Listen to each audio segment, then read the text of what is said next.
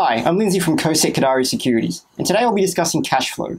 It's one of the key fundamental metrics utilized by KOSEC as part of our evidence-based investment strategy, and it's crucial for assessing the health and viability of a business.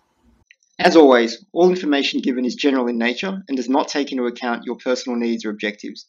For further information, visit our website www.kosec.com.au. So today, we'll provide an overview of this financial metric We'll then explain the different types of cash flow, and finally discuss why it's important to equity investors and provide some practical examples from companies listed on the ASX. As mentioned, cash flows are crucial for assessing the health and viability of a business and are therefore a crucial consideration for equity investors.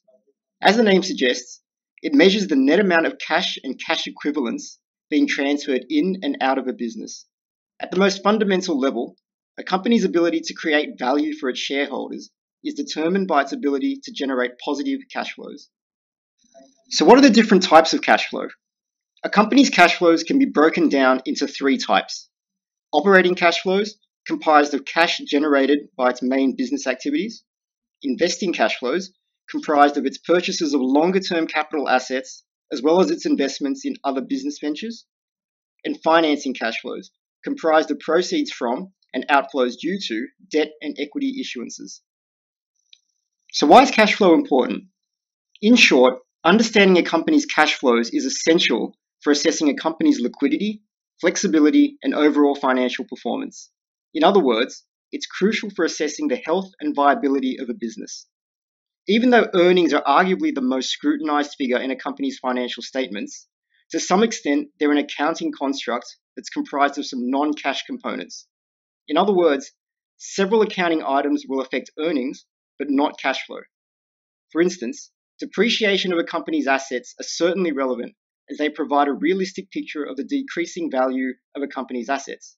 However, depreciation expense is a non cash item and thus won't affect the company's ability to reinvest in the business or pay out dividends or distributions to its shareholders. Conversely, accounts receivable are certainly relevant as they reflect genuine sales that will eventually be reflected in a company's cash flow statement. However, until payment is actually received, this is also a non cash item and thus won't assist the company in servicing its debt or paying its taxes. This potential divergence between cash flow and earnings can be demonstrated with a couple of examples from the ASX.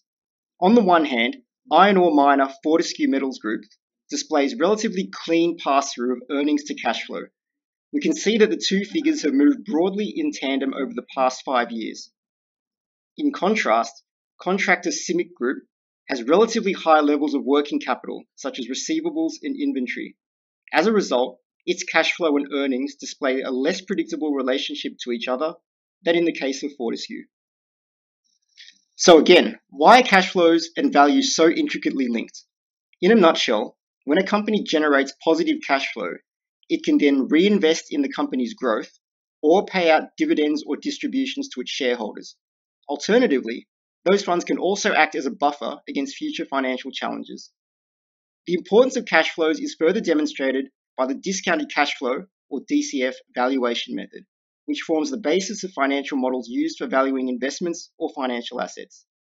Quite simply, DCF determines the value of an investment today based on the projections of its future cash flows. One practical application of this that most of you will be familiar with is the institutional valuations or target prices found in the broker research reports. In summary, a company's ability to create value for its shareholders can be directly equated to its ability to generate positive long term free cash flows.